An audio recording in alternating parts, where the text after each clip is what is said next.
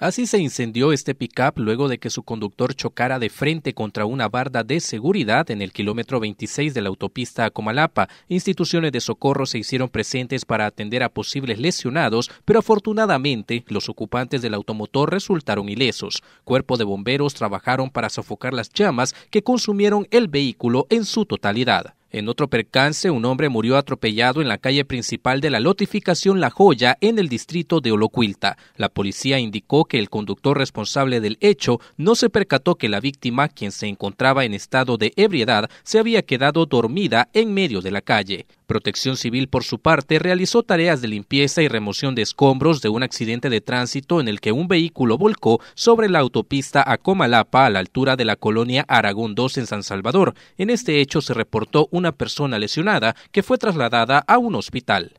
Y sobre la sexta calle Oriente y cuarta avenida Norte en el centro de San Miguel, un vehículo volcó bloqueando el tráfico sobre la vía. En el percance solo se reportaron daños materiales y minutos más tarde el automotor fue retirado de la zona. Este es un reporte de Fernando Morales.